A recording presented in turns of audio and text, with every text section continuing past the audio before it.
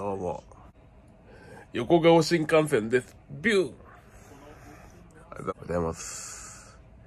えー本日はですね、8時、18時でバイトです。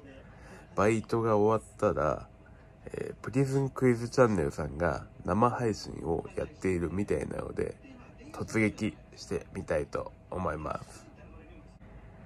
いやー。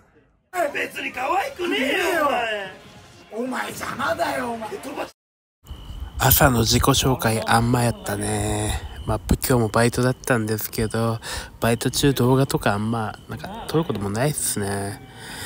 で、ちょっとあの、知り合いが蒲田にいて、ちょっと呼ばれたんで、ちょっと会いに行った後に今日は、えー、プリズンクイズチャンネルさんの生配信を見学させていただきました。めちゃくちゃ面白かったっすけど、俺が行ってからね、えっと、一回勝ってたりとかしたっすけど、当てたりとかしてましたけど、2連勝とかなかったっすね。で、プリズンさんの視聴者さんが送ってくれたお寿司、僕もちょっと頂戴していただきました。みんなで最後食べてね。